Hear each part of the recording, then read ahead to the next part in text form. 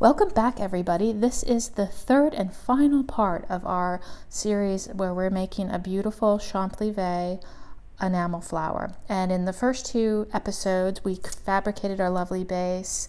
Uh, we've bent our wires, we added some lovely texture, and we fired them, and they are ready for some enamel, which I'm very excited about. And uh, we are using unleaded enamels for this project.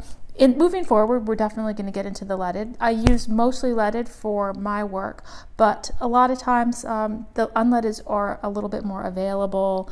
Um, some craft centers kind of restrict you to the use of the unleaded, so I wanted to do a whole project, a couple of the beginning projects just using the unleaded enamels. And so we have been using so far the 2020 Clear for Silver as the base, and it came out pretty good. It's a little bit more yellow than some of the, the leaded clears, and I'm going to just show you an example. Um, this one, and I don't know if you can actually tell the difference, this is a leaded base, and it's actually um, a a very pale blue, which I think because it has a blue cast, it actually looks a little bit whiter. But, you know, in the scheme of things, once we get the colors on here, you're really not going to be able to tell the difference. Um, so don't, don't stress out if it has a little bit of a yellow cast to it. That's just kind of the nature of the beast. I found that if you underfire it, it gets a little yellow. If you overfire it, it gets a little yellow. It's just, you know, Que sera, sera. So we're going to get started and we have, I've washed all our enamels and I will include a list of all the colors that we're going to be using um, in the in the notes to the video so you'll be able to um, and I'm probably also going to have a little sample set with all these colors that we're using for just this project will be on my Etsy page as well if you want to just get you know a quarter ounce of all these colors and just make this project that would be delightful. So let's get started I'm going to, because the background here is, I don't have the drawing, I left it at home, but I have, this is the original piece that we're kind of working from. So we're gonna do a very similar color thing. And you can see how much darker the background is. And so I don't want any of those dark purples or blues to creep under and contaminate a really nice uh, leaf and the lighter colors in, in the area. So what we're gonna do is, I'm only gonna do, I'm gonna do the flower and the leaf, and then we're gonna fire it before we put any background color on because that might seal if there's any little gaps I can even see look I'm sticking my thing under these things. Um, if there's any little gaps like this um, they'll get sealed. Um, sometimes I'll even do two, if it feels like there's really big gaps um, I'll do two coats but I think one's gonna be enough. So let us get started with that. I'm going to start with the flower. And so with the flower here we're going to be using um, kind of these blues and purples. And these two dark ones, um, we're going to use in extreme moderation. They're just going to be like the deepest shadow. We're really going to focus on, uh, let me show, you, tell you the colors, the 2600 opal blue, um, the cascade, and then this opal white is going to be kind of our main, these are going to be our main you know, colors, and these are going to be kind of dark. But that being said, I'm going to probably, I might start with, sometimes it's like good to start with the dark and the light. Um, but I think I'm going to go ahead and start with kind of our middle tones here. And so I have a brush. It's very small. It's not expensive. And off the camera, I've got some very clean distilled water, a little paper towel to clean my brush. And um, so let us, let's do this. So to get started, I'm going to go ahead. I like to put the clean water right on my piece. So I'm just getting some, you could dip it in, but I don't think it's necessary because we're going to use a little bit of the capillary action to help with this blending. And so there we go. We've got some water on there and God, I'm feeling all like hesitant. It's always so hard to know where to start. All right, you know what? I'm going to actually start with the white. This is a really pretty opal white. Um, I did not wash this because I want it to be a little bit kind of cloudy, not cloudy, but opaly is I guess the, the word for that. And so I'm gonna go ahead and kind of this whole area, the tips of the flowers. And you can see I have like a nice big blob. And I'm just gonna go ahead and place the opal right at the tips of those leaves. And I'm doing, I'm going to do these three all at once because they're very similar. And so you can see I just have that. And then I'm going to do some of the Cascade. This is kind of the, the medium color. And I'm going to, I'm going to start only with the Cascade and see where that takes me and add the darker in the second firing. And I'm just going to set this a little ball of the Cascade Blue right along the other edge. And it's always nice to have a little bit of a darker color right hugging a wire because it's going to really make that wire pop. If you have two light colors abutting a wire, the wire tends to kind of disappear visually. So there we go. So you can see I basically have a little bit of the blue. I've got this kind of no man's land right in here. And I'm just going to get some water and start blending them, maybe a little bit more water. And if you find that you're having trouble blending, it might be that you actually don't have enough enamel on the piece. Um, you need to have enough enamel. I'm not actually going to put a little bit more of the white. There we go. There. That's looking good. And I'm just kind of like feathering it together. I'm not going to worry too much because there we go. There's such kind of like floaty, cloudy colors, or not cloudy, but just floofy colors. So they're just going to be very pretty. All right, and so I think we've got, the blue is going to kind of wrap all the way around. So what I'm going to do is, I'm just going to do a little bit of blue in the center you know what, I'm going to do the dark blue in the center. See, this is thinking on my feet. This is the aqua, which is a really beautiful, always, always a lovely addition. So let's go ahead. And I want to make sure that there's water in there or else if this sits on top, you could get an air bubble right there. So I'm going to kind of set that in right like that. And then I'm going to get some, I've got a little, this is just a chopstick that I put a, I glued, I drilled a little hole and I put a little needle in there.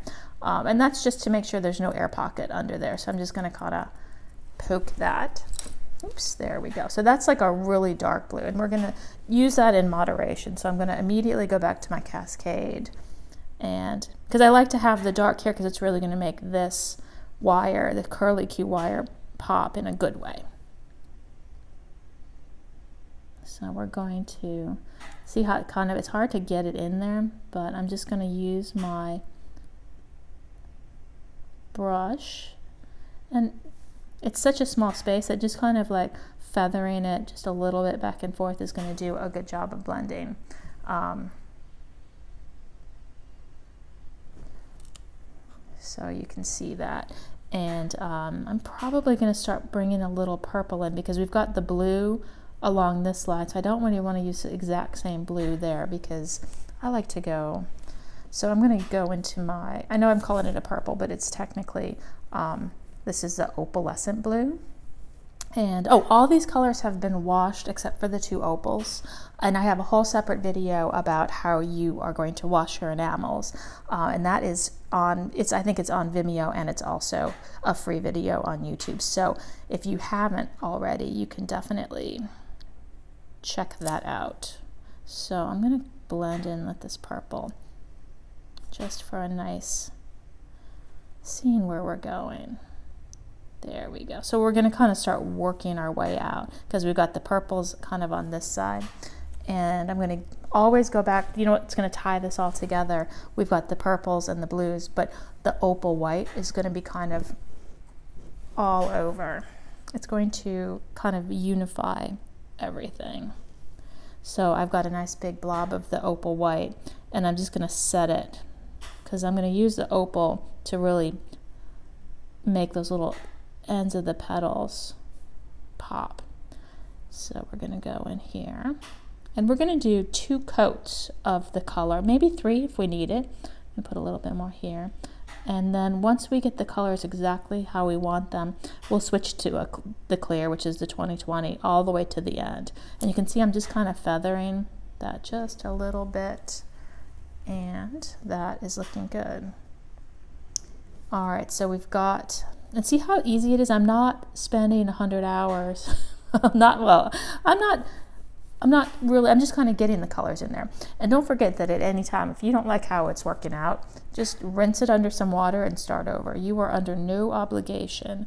Um, so I think I'm going to do, I'm going to bring in a little bit of the darker purple right here, which is the Concord, and it's really dark, so a little bit will go a long way. And I'm just going to set that. See how dark it is? So I am going really light with that. But that's really going to make those little, that petal pop. That petal pop. Poppity petals. All right, see how it kind of like, it's just ever so much hugging that.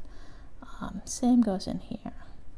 Because you could remember, you can always go darker, but unless you're going to be grinding things out, you can't really, it's harder to go light. All right, so I've got a little bit of that purple, which I'm I'm happy with. And I'm going to put a little bit just to kind of like,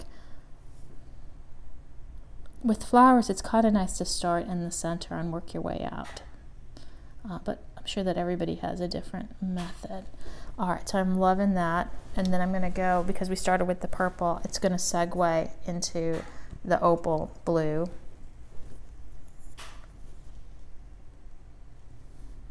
And so I'm just going to put this in the middle. See, I'm just kind of setting it right on. And I'm leaving space because I'm definitely going to want to put a little white.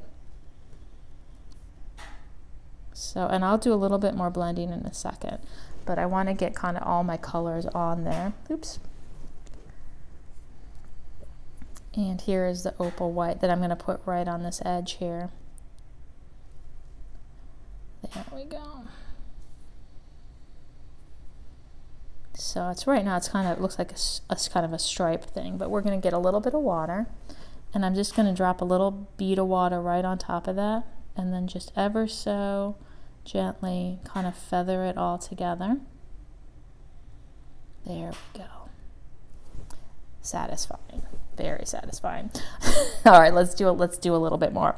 Going back to um, you know, this one, this petal right here is kind of behind, so I may not even do any. I might just do just the, the two colors, so it'll visually kind of recede into the background.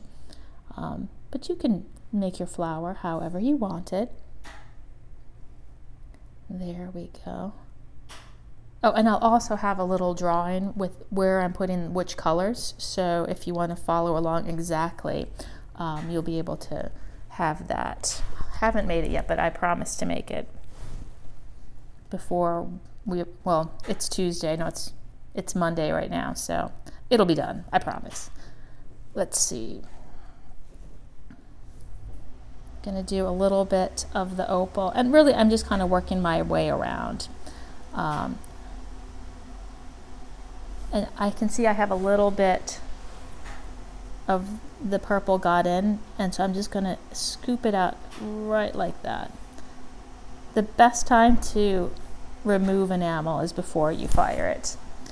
And I'm to do a little bit of the darker blue because I'm to kind of meet in the middle. So we did this area and I'm to kind of go around this way. I know. So I've got the aqua, which is going to be our darkest of the blues, and we used it up here. I'm going to just do the exact same thing. Just, oh, that's, see, that's, I feel like that's too much, so I'm just going to get rid of some of it. Less is more with this really dark stuff. So I'm just going to, just right in this little corner, and then right in this little corner, and then right in this little there we go. And remember everyone's it's always going to be a little different because you have oh here's the cascade. You know what? I'm going to do with this way. I'm going to start with the opal and then I'll put cascade in the middle. So so many different ways you can do it. So here's my opal white hugging this line over here There we go. I'm going to put some of that over there. And same goes for over here. There we go. And I'm going to go back to my Cascade, which is my light blue. And clean my brush. And I'm just going to kind of just put it right like that. And I'm going to get it in all three little areas and then I'll do a little bit of the blending. And you know what I'm going to do that's going to be crazy? Because we have a little purple. I kind of want to bring the purple right into this leaf just to, so it's not purple on this side and blue on this side. It's kind of nice to wrap the colors around. So I'm going to use a little bit of the opal blue, which we're going to call purple. It depends, and that's just going to kind of visually kind of tie that in. And I might actually put just a little bit more of that right here. There we go. And let's see what we can do blending wise. I'm going to go back over here. It's just because of, it has so much water, it almost pretty much blends itself if you the water just kind of pulls it together, but we're just going to feather that. All right, and so let's see, probably purple. I think purple all the way around is going to be what I want to do because I've got a lot of blue here, so it'll be nice. I'm going to start with the Concord and remember, oh my gosh, less is more. So I'm going to just set this little guy.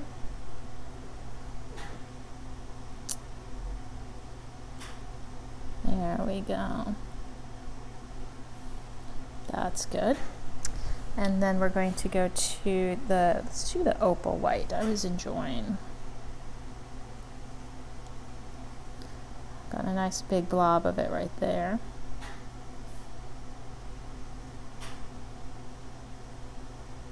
There we go.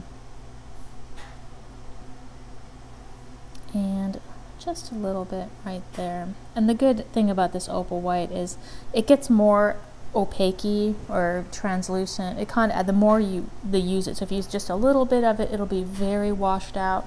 But if you kind of do layer upon layer, it gets a little bit milkier as you go. So we're going to come back to our middle color, which is the opal blue.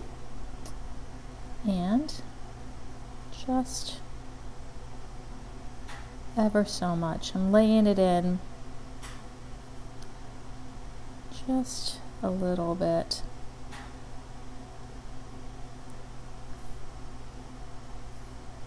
I'm actually going to put on. There we go. There we go. And you can see how dark that Concord is. It's almost gets a little speckly. It's it's so dark, but I'm I'm cool with that. All right, so I'm liking how that's looking. And we're gonna do the leaf next. All right, the first coat of the flower is done, and so we are going to do our lovely leaf next. And I have picked out three shades of green here, a dark, a medium, and a light. Um, I love this kind of chartreuse chrome color. It's just, I find it so happy. So we're gonna do happy greens here. So I think this is a peacock, this is a leaf green, and this one is lime. And to be honest, I think this leaf green is not actually a Thompson, but it is an unleaded. I think it's Milton Bridge, but I'll have to look it up. Um, they all play, as long as they're all unleaded, they generally all play well together. And I just love this really apple green. And so this was the, kind of the one that I was like, you know what, we're going to use it. Um, and you can find it online. I'm sure that E-Enamels will have it um, or someplace else. I'll find it and maybe I'll give you a link to it. But I love this little apple leaf green. So we're going to do that. And so we're going to do light and then right along here we're going to do a little bit of dark. And so I'm going to start with the light color. So remember we're going to get a little bit of water. Let's get some, let me move these out of the way. There we go, we got some water there. And I'm gonna start with the lightest color, which is the lime. Look how vivid that is. It's very pretty. Let's see if we can kind of tilt that down. And I'm going to just, and this is such a, a lime color, like you could take this into the, the oranges or you can take it into the greens. It plays well with a lot of the colors. So, but we're gonna use it as a green, going into the greens. So you can see I'm just kind of hugging the, because this is gonna be dark, it'll be nice to have this light color right here because it's gonna really make the background pop. And so I'm feeling pretty good about that. All right, and then we're gonna go for our medium green, which is our leaf green. And this is, I think it's the equivalent. I think what I like about it is kind of, um, there's an, a matching one, there's a leaded one called um, N37 um, chartreuse is one of my favorite colors. So I think that's probably why I, this color appeals to me so much. So I'm going to just put this one right here because I'm thinking we're just going to do the medium and the light on this top leaf and I'm going to with this one kind of try to hug the the line. We don't have a lot of space to do a, a whole lot of fancy shenanigans but so you can see I just have like a little bit of a line and then I'm just going to use some water and just maybe even get a little bit more of the light. There we go. And we'll just gently feather it together. There we go.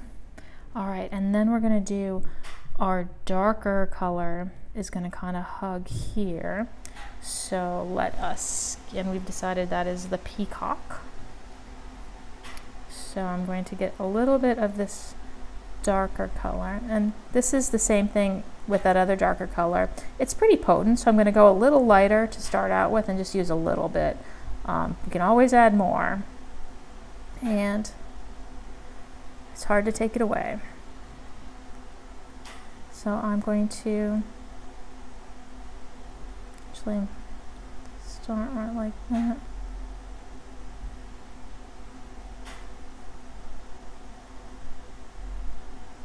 And just see how I'm just kind of pushing it right up against that line there. And then we're going to go to our medium color. This is the leaf. And I'm going to really kind of set it pretty close because I want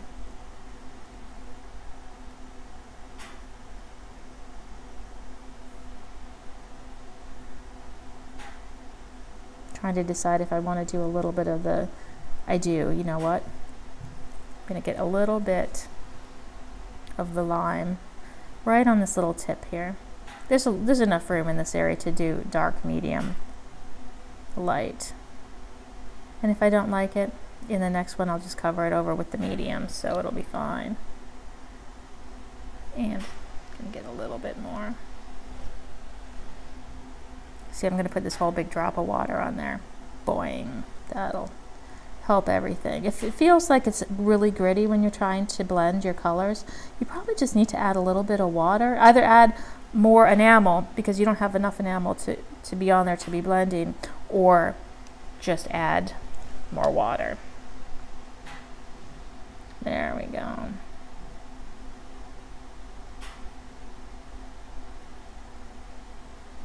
And then I'm thinking right here is just going to be the medium. Same goes for here. And here. I'm putting kind of a big blob. There we go. I'm liking that. There we go.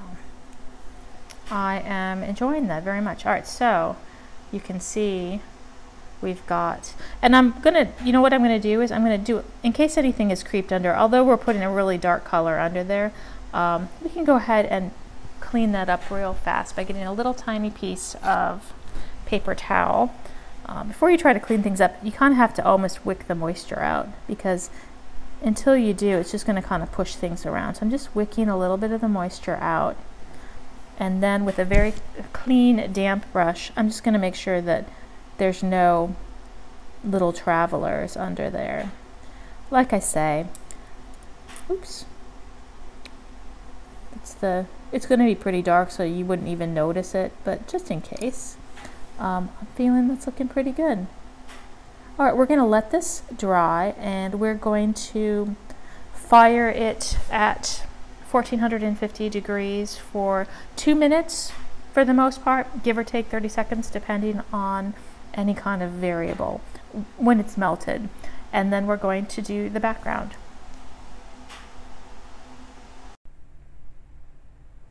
All right, this has been fired and it looks really good.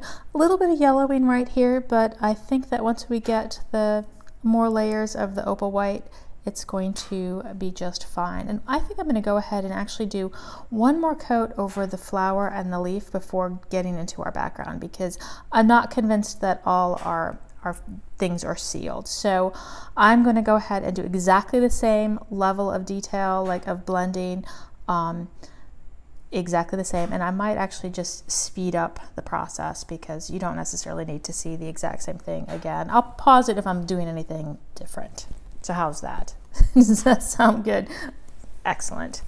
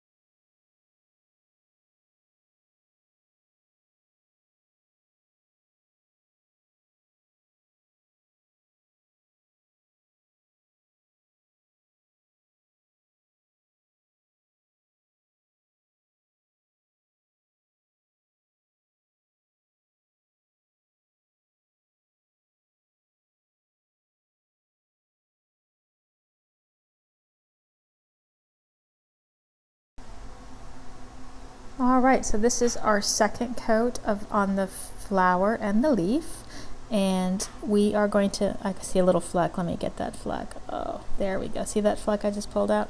Um, we're going to let that dry and we are going to fire it for two minutes and then we'll come back and do the background.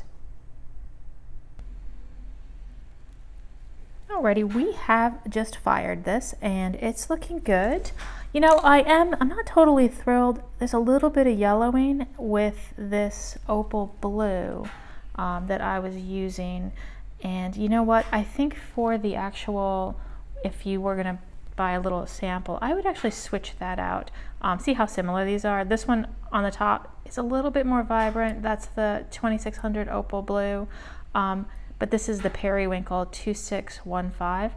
I actually would probably switch to this because I know this one never goes yellow, but I can see, I didn't, I made, I was really careful not to overfire it, but right here and here, it's just gone a little bit kind of a golden color, which actually it's kind of pretty. It looks like a peony or something. But I think moving forward to avoid that, I'd probably switch out these colors. And so I'll make a big note of that um, maybe switch to the 2615 periwinkle, which is some of these unleadeds can be a little bit um, uh, temperamental, shall we say. Temperamental is a good word. So we're going to roll with this. It's now a peony, whatever. Um, and that's what happens like when we do these things together. Um, you know, the best of us um, there's a little bit of chaos in the world. But so we're going to move forward and embrace the little bit of yellowing and um, going to do the background. So we have two colors on our background. We're going to do Concord purple down here and then this beautiful nitric blue up top and we're going to kind of blend to the top. And I think I'm going to start at the top here with the nitric blue. So I'm going to go ahead and I'm going to put some clean water down.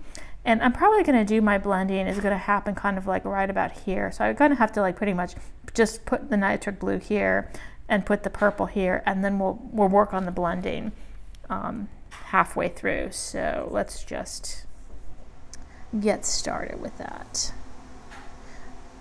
And because there's a lot of, this is actually a lot of real estate here, so I'm really going to go, you know, fairly thick.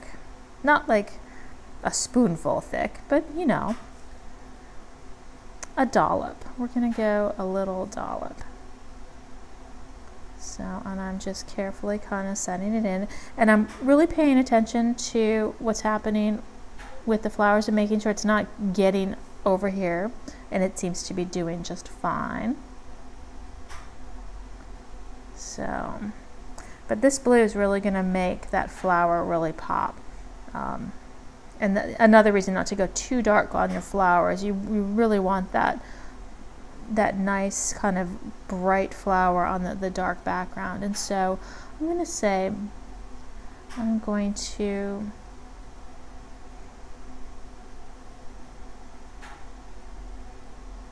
There we go. Let's get some purple on and decide where we're going to do. Well, actually, probably the blending. We'll put a little bit more of the blue on so I can get some of it.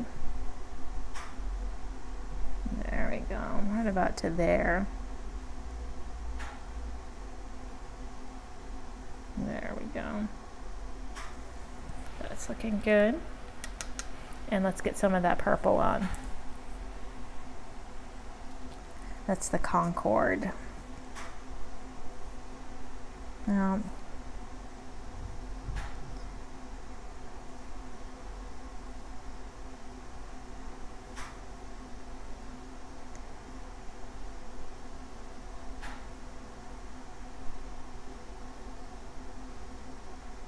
Yeah, those opalescents can be just delightful when they work out perfectly, but they can be like problem they're like little teenagers. You never know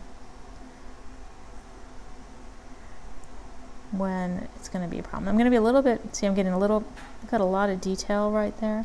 So I'm going to get kind of clean off my brush.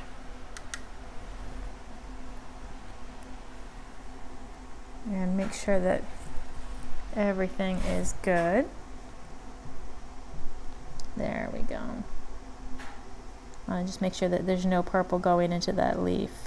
So I'm just going to kind of, there we go. That's looking good. And if there is, it's fine.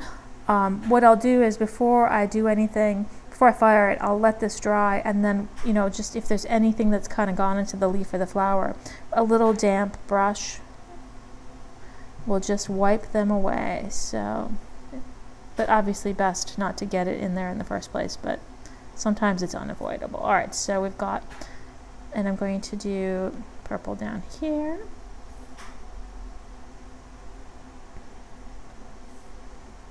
There we go. And there's even enough space. You could do three colors. I mean, you've got some a nice transition. You could pick like an intermediary color that might be nice. I'm going to make sure that's good and we're getting close.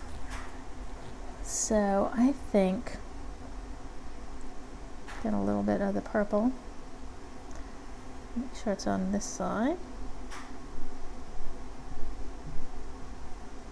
There we go. And I'm going to have like the purple hug the leaf here. And here and here. See how it just makes that little leaf really pop all of a sudden? Um, and I'm going to bring my purple up just a little bit more there and a little bit more. And I'm probably going to actually start in the middle. Let's go, go back to our blue, our nitric. And I'm just going to, oops, do a little bit right like that. But see how it's like blue here and then purple. It's not very much space to be blending, but I, I like how, and we'll do a little bit more over here. We'll probably bring the purple up a little bit. Get some of the purple.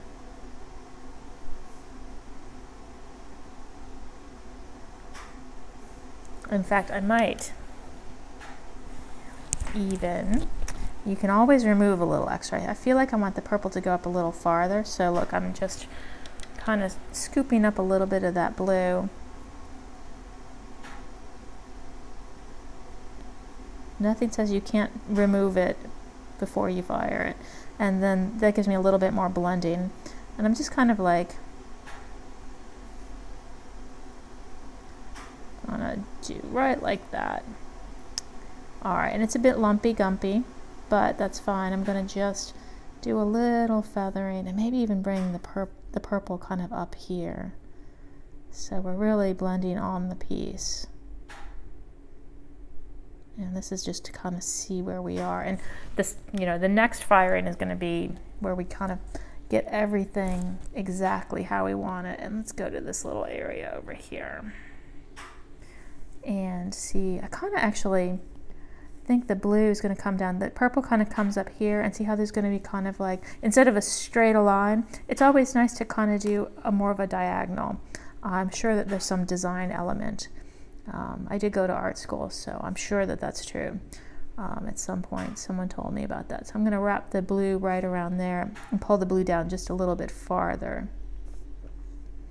And I'm really putting quite a bit of enamel on here because this is a dark color. There we go. And I'm just right where these are kind of coming, I'm just feathering it. And because they're almost the same tone, they, they blend really well. There we go. I'm really pleased with that. All right. And I'm going to put a little bit more enamel. See how it's really light right in here? I feel like I can get away with putting just a little bit more, but I'm gonna just, it's very wet, so I'm just gonna ever so just wick up just a little bit of that moisture right there. It was a bit of a puddle. And gonna do a little bit more purple here.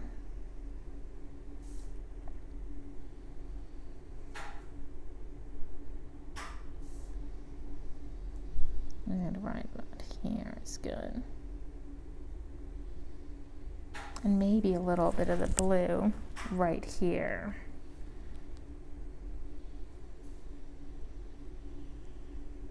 There we go.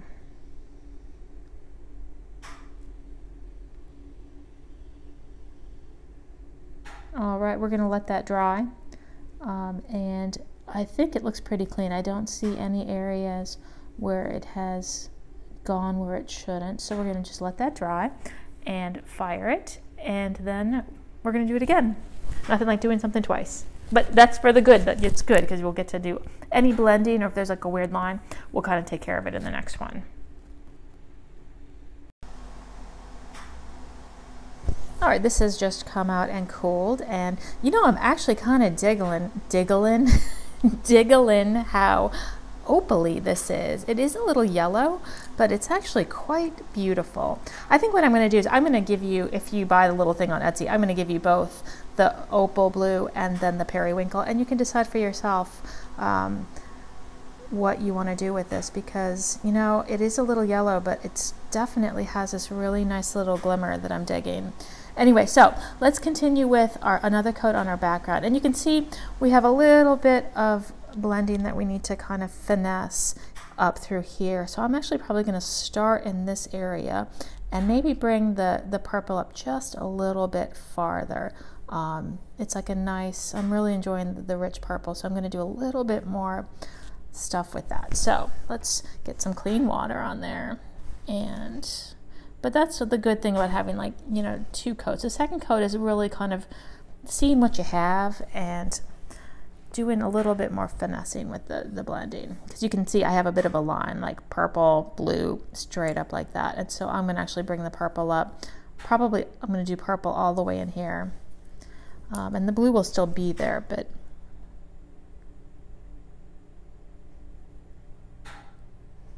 all right, apparently. There we go.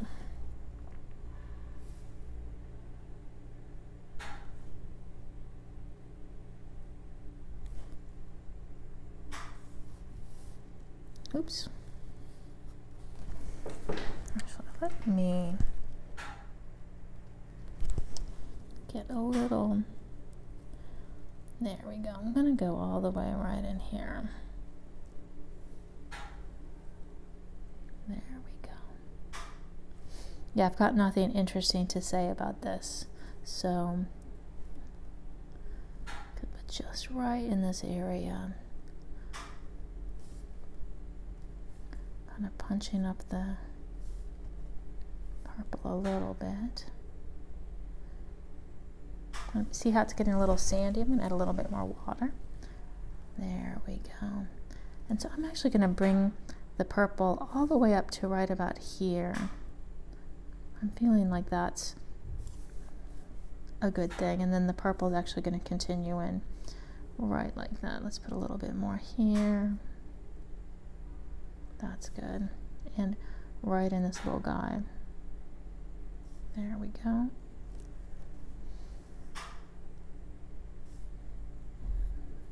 We might as well go ahead and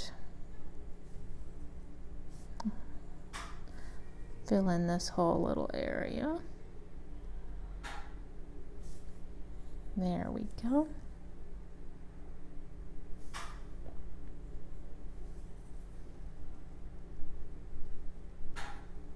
Nice and quiet here today.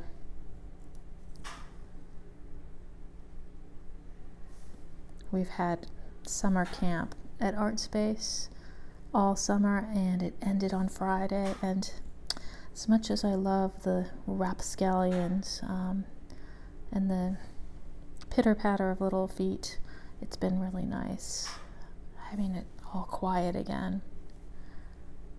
There we go.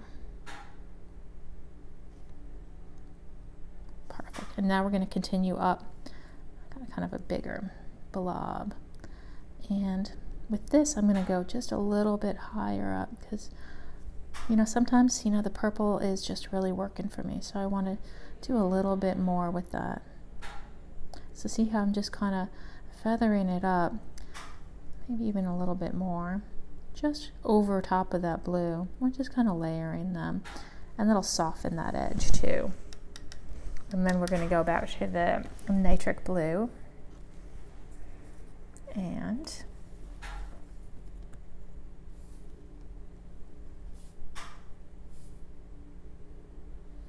I'm going to start with this blending area. So right there, I'm going to kind of just, there we go. I'm just kind of feathering a little bit of the blue into the purple, the purple into the blue. That's looking good. You just want to avoid having a line of color, unless that's what you're going for. You can certainly set piece, you know, set enamels side by side if you want like a really vivid line, and you know they're not going to run together all that much. I think people think that um, because you know once it gets to be melted and liquid, it's going to be running all over the place. That is definitely not the case. So anyway, so we're going to do all the blue all the way up here. And I think this is looking good.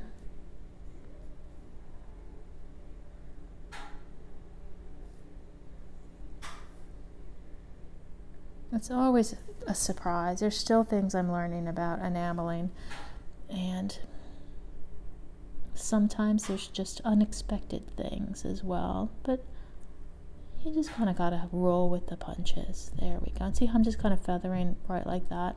So I've, I've brought the purple up a little bit, um, which pleases me. And let me just get a little bit more right in. I can see I want a little bit of purple right there. Right here.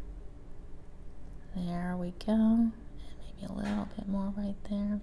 And let's have a look and make sure that none of the blue or the purple has gotten into any of our areas that we don't want it and it looks really good. So we're gonna let this dry and then, and I'm actually probably just gonna let it air dry. I'm not gonna do too much of the um, wicking of it because I don't want to mess up this little blend that I did. I could probably wick it down at the top and the bottom. Um, in fact, I will do that and then save myself a couple minutes. So just at the top and the bottom, we'll just ever so carefully wick some of the moisture away. Let's do it at the top too. See if we can do that. There we go. And I'm just going to go put that under the lamp and then we'll fire it and we'll see. I think after that we're going to be ready to switch to clear, which is going to be very exciting. So be right back.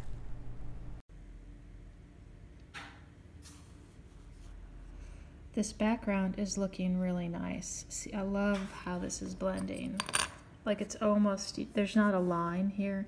It goes from this beautiful deep purple kind of through into this lovely luscious blue. I am liking it a lot. So I love all the colors on here and so we are going to go ahead and switch to clear and we're going to be using the 2020 which is what we used at the beginning and you can see this is dry I have just freshly sifted it using a size 200 sifter. So basically what stayed in the sifter, the bigger pieces, is what I kept and then I discarded all the powdery stuff, the residue at the bottom of it. And I'm just going to go ahead and just add some very clean distilled water. And let's see what we can do. And I'm gonna do three coats. So not too thick, especially you know, the penchant for yellowing is always on the table with these unleadeds. So I'm gonna go nice and nice clean water. Let's get a slightly larger brush. I think we can do that though. And let's add some water to the piece as well because it'll be easier. And I'm just gonna do a nice even coat over the whole thing. And then we will let it dry and we'll fire it and we're gonna do that three times total is what I'm uh, generally my experience has told me that it's about three times. So, and I'm just going to start in the middle as is my want and just work my way out. And hoping for the best, as always.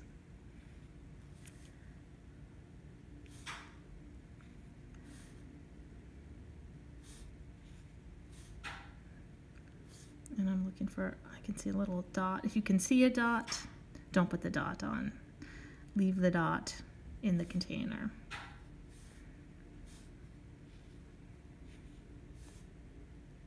And some people always ask if they could sift this, and you know, I don't see why not. I just, I like to have control over where I'm putting it, uh, but I don't, I suppose you can try sifting it and let me know how that goes. Um, you'll have to do a lot more grinding on this area because you'll get it all over. But I guess if you wiped it off. Um, again, it's your piece, your rules, your enamel, your rules. Try something. You should never be afraid to try. You know, see what works. Um, I'm still, you know, sometimes I get into old habits and I don't remember why I why I do something, and it's good to evaluate. Like, am I doing something only because somebody like Sandra told me to do this years ago, and Sandra's moved on and found a better way to do it. Um, that's well, but you know, it's like there were things that I I did for a long time that I only did because that was how I first learned how to do it. And it was working, but it might not have been the best solution. So honestly, never be afraid to maybe not on like the the piece you want to you know make as a special gift to your mom, but on smaller pieces, those are great opportunities. Little pairs of earrings, you know, just to test things out. Um, see if you like it see if it works, and take notes because oh, if I could do something and I'll think I'll never forget this terrible tragedy that befell my enamel piece. But if I don't write it down, chances are uh, history will indeed repeat itself and I will make the same mistake twice. So I do keep a little notebook and I write notes in it to my future self. And future self definitely is thankful because, especially when there's like color, um, like I'm going to make a note about this because this opal blue that it goes a little, you know, yellowy, um, but it's kind of a purple yellowy. Um, just so in the future I can, you know, work with that, um, you know, play up the fact that it goes a little yellow. And if I don't want that, I'll use the periwinkle. So, you know, that is especially with colors. It's really good to, even if you just write it on the jar, like, you know, doesn't play well with this other color or, you know, any kind of note to yourself is good information that your future self will be happy about. Um, and also, if you find something that seems to be weird, um, why not do some test strips? Like, is this something that happens every time? Or, like, if there's a lot, there's not things that can't be explained, but sometimes it's good to know if it's user area error or if it's just a temperature problem or um, a materials issue. So if you do find that you're having a particular issue, definitely, it's just like a computer program. You have to like see if you can get it to happen again and, you know, write down what you were doing when it happened. Um, all right, there we go. See, now I've, I've given you my lecture. And so this is a nice even coat and we're gonna let that dry. In fact, I'm gonna go ahead and blot it because I'm also feeling lazy. So let's get some very clean paper towel. And here's my blotting method for, there we go. Look at all that, that moisture. And then just carefully, there we go. And I'm still gonna let that dry for a minute or two before I put that in the kiln. And we'll be back and we're gonna do that two more times. All right, this one has been fired with a single coat of the clear and it's looking really nice. So we're gonna do that again. And so I guess I'll, I'll, probably speed it up. You don't need to see it. So I'm gonna put a whole, exactly what I did. I'm gonna do it again. I'm gonna fire it and then I'm gonna do it a third time. And if you find that it only takes two, you know, maybe you should go a little bit thinner because I feel that I would rather, especially with this 2020, go a little bit on the, the thinner side and have to do an extra coat rather than go a little too thick and then have it be cloudy. So anyway, I'm going to continue on. Um, and yeah, you're going to be like, Sandra, what do you even mean by what is too thick? What is too thin? Um, but it's kind of thick enough that it coats, but not so much that it's glop, you know, just a huge pile. Um, I don't know if that makes any sense. Um, but basically, you wanted to take three coats of the clear to get just to the top of the wires um, and not over the wires. I mean, it's fine if there's glass over the wires, we're going to grind it down, but you don't want it to be like well over the wires. So that's, that's kind of what I'm getting at. And I'm going to stop talking so I know, do I ever? um, I'm going to tell you this story about when we were in Italy one time. Um, we were on some tour. We were going to um, just outside of Rome. Uh, what are those? It's beautiful. Oh, um, Tivoli. Tivoli. We were, and we. It was one of those. You know, we'd done a tour, and it was like just a, kind of a private car with my cousin and my husband and my cousin's wife, and we were in the back, and my husband Warren was in the front. And you know we couldn't even hear what the guy was saying because it was like we were so far in the back whatever. And he turned to my husband and he said your wife she talks a lot but she does not listen. And so he always tells me that. Um, and um, i try to tell them we couldn't hear anyway and i was just making polite conversation. So i talk a lot but i do not listen but then I said a perfect grazie, and he said, Oh, your wife, is she from Rome? That's exactly how he said it too. And I'll probably edit out this entire story. Um, but prego, those are the two words that I can say apparently very well um, in Italian. So, yeah, it's not too thick. See, it's getting a little dry here. So I'm gonna add a little bit more water and clean water. At this point, I mean, I'm, I should have probably mentioned it, but clean water. Keep changing your water. If you can see stuff floating in your water, that stuff could end up on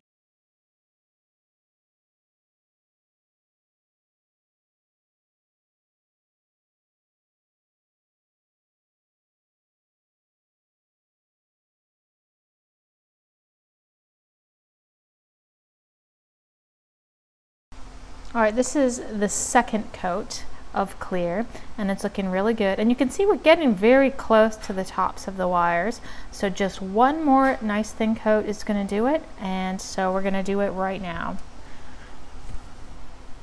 In fact, we'll, we'll come back when it's been fired. How's that? Because I don't have any more good stories. So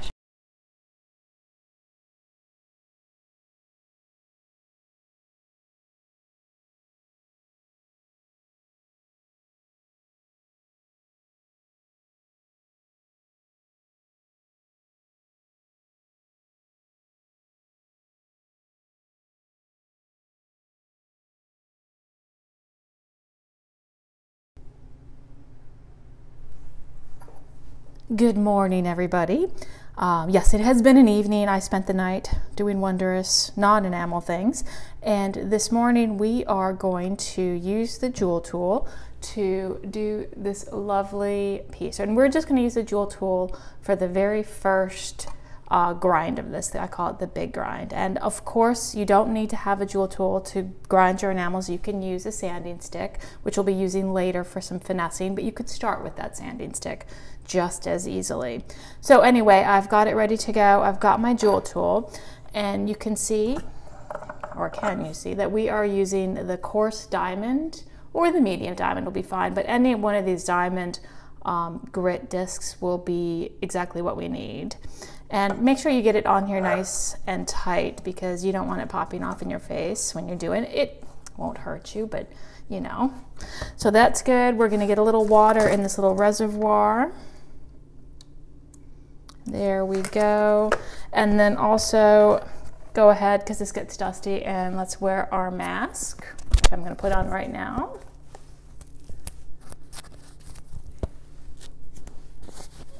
All right, and um, it has a variable setting. I kind of like a medium, I don't know. So it's like that's off, that's too low. Right there is good. And what we're gonna do is what's nice is see how you can see straight through the blade? That's what's nice about the JoolTool. And what we're gonna do is we're going to go one time all the way around and then we're gonna remove all the glass from the edges. We're never, we're not gonna do any uh, edge work on this, just the top.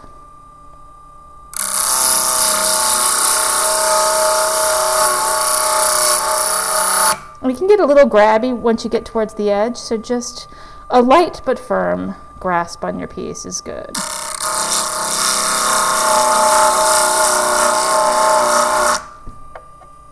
And I'm dipping after every time.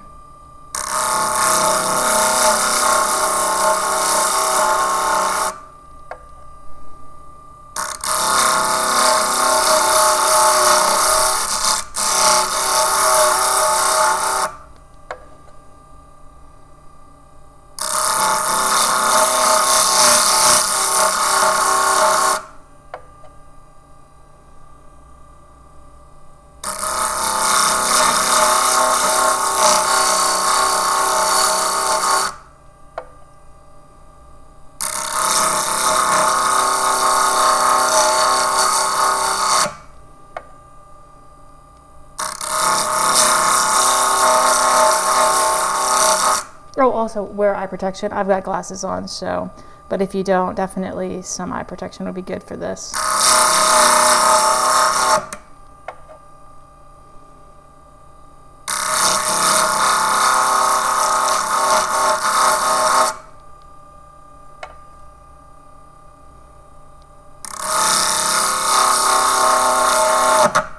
see how it kind of grabs it a little bit. That is fine.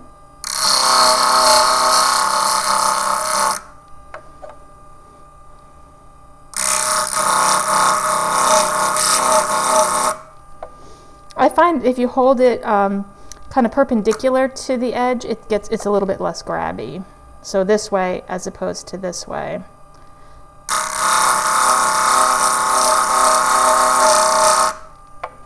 Let's just have a look.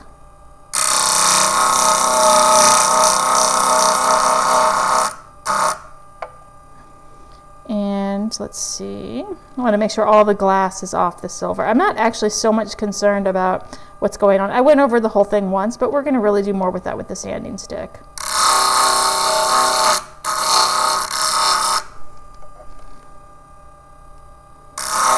There we go. Let's make sure, have a really good look right here. Alrighty. Oh, wait, hold on, I can see. You can dry this with a paper towel and that'll help you see if there's any glass on your silver. All right.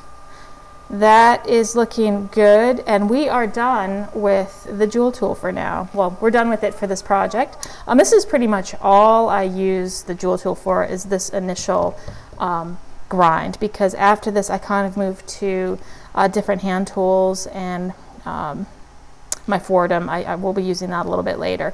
But this did the heavy lifting of taking all the glass off the silver and just, you know, taking the wires down just a little bit. Uh, but you can see, you know, it needs some more finessing. But we're going to do that next.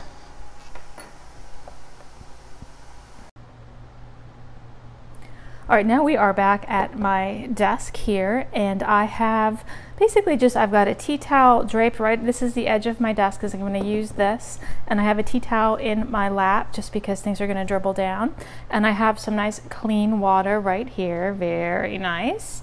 And the first thing I'm going to do is we're going to use a diamond sanding strip and they're getting a little hard to come by. Um, when I have them in my Etsy store, they tend to sell out pretty fast. Um, but they also sell this diamond grit. Um, they sell it on like a, it's attached to like a sponge, which is definitely do it. So I feel like the sponge is a little harder to maneuver, but it's if you can't find one of these sanding strips, and this one's just attached with some Velcro to a, a, a stick, um, you can use a sanding stick, I mean a sanding sponge. And I know that they have them at enameling.com and other places. So if you Google diamond strip, sanding sponge. You'll probably find them. Um, anyway, so what you can see what we have is um, I've taken, it's pretty rough, but that's exactly what I want. Um, and there's lots of little shiny areas. And so, and if you kind of look at it, look how kind of lumpy gumpy it is. We're going to smooth that all out. Um, but I think I'm going to deal with the edges first, just because when we deal the edges, it's going to make a little lip. And so I'm going to dip it in the water and use the side of the, the side of the desk and just I kind of like to go back to front because you don't want to accidentally, if you go in in this direction, you could conceivably flake off some of your counter enamel. So let me go down just a hair. There we go. Comfort, everybody. So I'm just going around the edge, dipping, removing any glass and kind of smoothing it out. We'll finesse the edges some more later, but this is just kind of removing any glass. I'm not going to worry anything about, I am going to deal with this bail, but we're going to do that at the end. Um, there we go, it's looking good. And if you have kind of an odd shaped piece that's not nice and round, you might have to go in with um, kind of more specific files to really get into the corners. Um, but luckily, because this is a nice, easy teardrop shape, we can, it's easy, everything is easier if you do a simple shape. There we go and I'm just having a nice look. There's, I've been pretty good about keeping my trivets clean, so I don't have any big trivet marks on the box bottom, which is fine. But you deal with those right now if you did, so that's good. So now I've done the sides, and they are clean. So what we're going to do is we're going to use the edge of the table. And remember, I've got this bail, so I don't want to press it down on the bail and squish it. Um, so I'm but I am going to really use this, the edge of the table to support the piece uh, because it's just going to, I don't ever want to do a lot of like in the middle of the air because you're wasting energy. You're really not going to get the, you know, oomph that you need. So I'm resting it on the table and I'm going to kind of start in the middle, remembering that this thing is round. So I'm not going to do a lot of right on top. Um, I'm kind of thinking in around, I'm kind of curling down as I'm doing it, but I am using a fair amount of pressure here because I'm basically smoothing out the glass. and you could do more on the if you don't like the stage you could do more on the JoolTool i just find that the JoolTool can be a little aggressive and give you know if you're not really careful with it you get this kind of weird faceted thing going um, but and i also like i like hand grinding so but yeah you could take a little farther with the JoolTool if you really don't like this step but my my rules for the day we're doing it this way for this but you can do it however you want all right.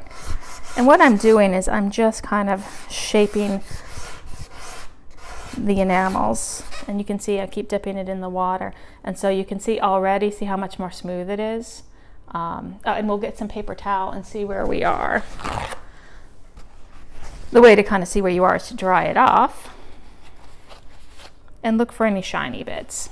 And then you can see I've got a little bit of shiny right here and here um, and a little all over. Means I'm just going to go a little bit farther. If there's any really deep divots, I am going to backtrack because you don't want to go so far down that you go through your color. We're not in any danger of that right yet, but if you have a really deep divot and you keep grinding down to try to get to it, uh, you may grind all the way through your colors and you'll be very sad. Um, so instead of that, you would wash it, put a little bit of clear enamel on all the shiny bits, uh, put it in the kiln, uh, but we're gonna keep going. I'm feeling, oops, I'm feeling still confident about this piece, so.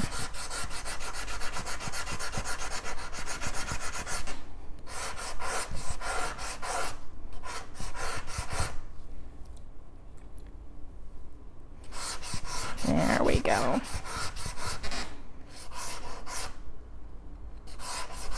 And we'll deal with the silver because there's a lot of big A lot of big things in the silver, but we'll take care of that next. There we go. All right. You just kind of want it to feel like a river rock. So that is feeling like if you close your eyes, I don't want to feel any of the wires and it feels really nice. So we're going to move on to the next step, which the next step is kind of a dance of back and forth in between different sandpapers, but let's go ahead and get that set up. All right, the next step that we're going to do is we're going to start addressing the silver rim, which is going to take a little of extra work because it's a big fat silver rim and you can see there's lots of scratches in it. And our first thing is we're going to use our Foredom tool. Uh, you could do this all by hand with sandpaper, but the for if you have access to a one of these tools, it's just going to save you a little bit of time. And I've got kind of a round um, mandrel on there, and it's I love these little sanding discs. We're going to be using two. This is what kind of my go-to one is. Um, I think this is 80 microns, which I have no idea what it is. I think what is that, 200 grit or something like that. It's pretty it's pretty rough. And then we're also going to be using this one, which is a little finer. So the blue and the brown. And obviously you can buy those at Rio Grande. Yes. Um, I feel like I should get a kickback for that, but I don't. I don't. All right, so, and you can see they're extra sticky, which is nice, and they come around, and you just want to make sure you kind of put it on evenly. There we go. And I'm going to go over the whole thing once, but I'm really going to be focusing on the silver part. So, and I'm keeping, I'm keeping a lot of water on this.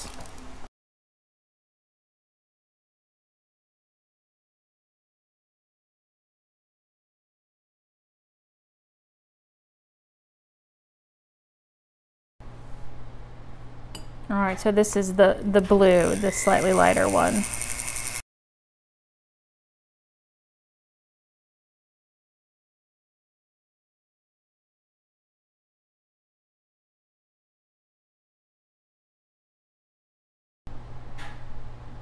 We are going to work our way through three, at least three different sanding papers. These are um, just regular, really kind of nice, wet, dry sanding papers. The green one we're going to start with, I believe that's 400. Then we're going to move to the gray, which is 600. And then finally blue is the 1200. And maybe we'll, if we're feeling ambitious, we can throw the pink in.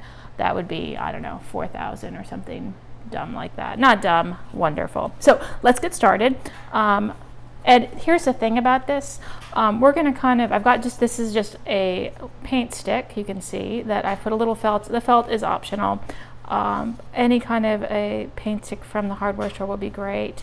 Um, I like, I've kind of moved to this thicker one, which is, um, I'd kind of been using this one for ages, which see how it's a little bit thinner. Uh, but I really like having this, all this extra um, surface area for my sanding. And I'm just going to wrap it around. And then as I go, I can un unwind it a little bit. Um, and so let me actually move this back to the edge here so we can see. There's, there's my lap so I don't dribble into it.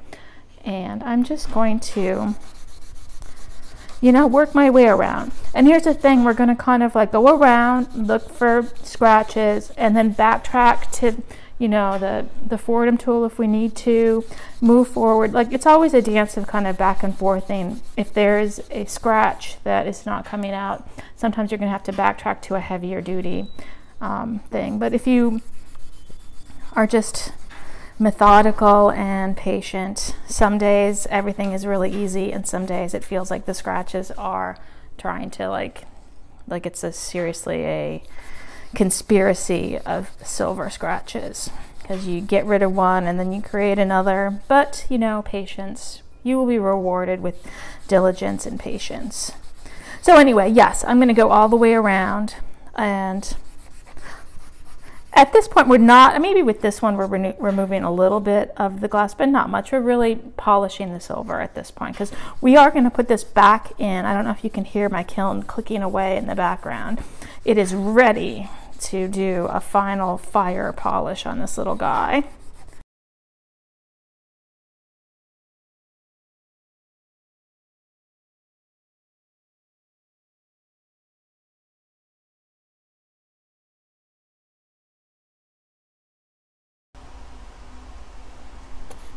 All right, I am on the blue and it's looking pretty good.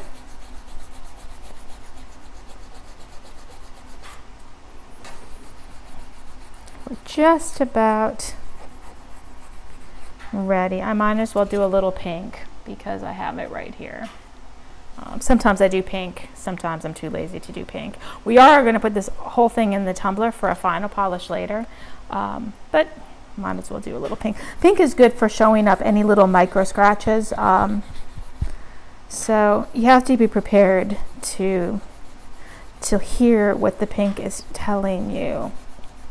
And if the pink is saying you need to backtrack, you gotta listen. There we go. And pink is telling me good news today, so or do I not listen? All right, and the edges, and this is just about ready for the final fire. There we go. All right, you know what we're gonna do is, let's see if I can reach this brush. Um, some regular dish soap. I'm going to walk over to the sink in the other room because I don't have a sink in my studio. Um, and this is just, it's not a, it's not a fiberglass brush. It's just a regular natural bristle brush that I got really cheaply and I snipped the end off so it's a good little scrubby brush.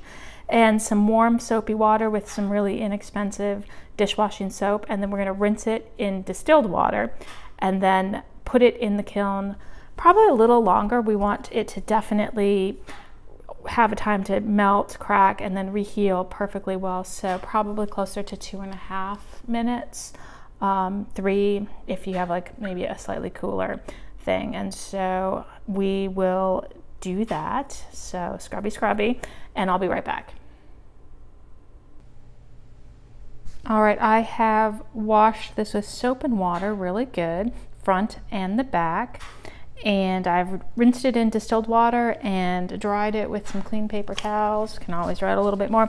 And we're gonna go ahead and fire this and get that shine back on the glass. So we'll be right back. So two and a half minutes um, will probably be a good time to do it. All right, this is looking really nice. It's nice and shiny and nice and good on the front. Remember the back is made of sterling, so we need to kind of polish that up before we put it in the tumbler because there we go. yeah, the tumbler is not going to remove. There we go. That's looking good.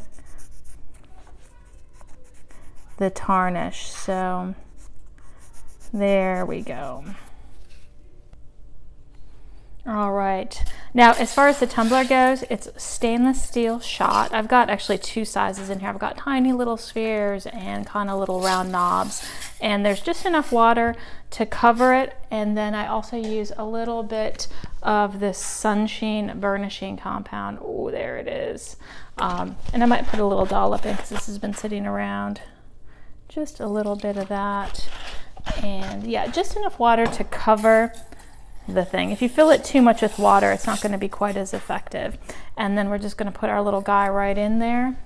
Say goodbye, have a lovely little tumble. And then now my fingers are all wet. It's going to make this hard to, to put this dumb lid on. But anyway, so I am going to tumble this for, you know what, 40 minutes, 45 minutes will be a good time to do it. And see, oh goodness. Let's see. There we go. Oh, there we go. All right, now we're gonna put that on the tumbler for 45 minutes and then I bet we'll be done. It's all very exciting. All right, we just pulled this out of the tumbler and it's looking really, really nice. The back is nice and clean and it's shiny and the colors are lovely. So I'm very pleased with this. So anyway, well, thanks for joining me for yet another tutorial. Um, I think the next tutorial that I do, we're gonna do some reds. We're gonna switch over to the um, leaded colors and try out a whole bunch of different kinds of reds and pinks, which I know people will be excited about. But I've got a couple in between, so think of that as probably mid-September is when the next kind of big tutorial series is going to be hitting. Anyway, so thanks so much if you enjoyed this tutorial. Definitely check out my website, sandramcewen.com. I teach classes. Come visit me in Raleigh, North Carolina, and take a wonderful workshop. And we can do this side by side together, and I can help troubleshoot any problems, or maybe you won't have any trouble because it's just that much fun. So, anyway, thanks again, and I will uh, be looking forward to doing another video very soon. Thanks again.